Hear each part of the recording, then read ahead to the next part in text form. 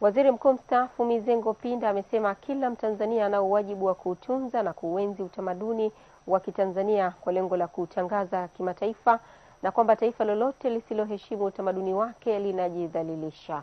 Mwandishi wetu Oscar Urasa ameandaa taarifa ifuatayo. Utamaduni ni mwenendo wa maisha ya jamii, mtazamo wao na mambo na taratibu zao za kuendesha maisha zinazowatofautisha wao na jamii nyingine.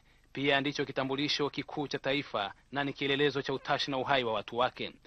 Waziri Mkuu mstaafu Mizengo Pinda analikwa kuzindua kituo cha utamaduni wa China nchini Tanzania, ambapo licha ya kukiria kuwa kituo hicho kitakuwa kielelezo kizuri cha uhusiano baina ya mataifa haya mawili, anatoa rai kwa Tanzania kuendeleza na kutambua utamaduni wa Tanzania, hususani lugha ya Kiswahili. Utamaduni ni kielelezo cha maisha ya mtu ya kila siku kama taifa, na ndio maana ni lazima tuendelee kuenzi sana swala la utamaduni.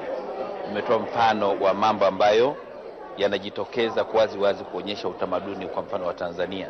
umetumia lugha ya Kiswahili kama moja ya jambo hili. Nimejaribu kuzungumzia juu ya ngoma tulizo nazo, mila na desturi zetu nyingine zile nzuri ambazo nazo ni sehemu vile vile ya tamaduni zetu ambazo zingeweza zikaendelezwa zikafanya tukawa na vijana wazuri zaidi badala ya kuwa na vijana ambao wamepotoka kwa sababu tu tumeacha mila na desturi nzuri.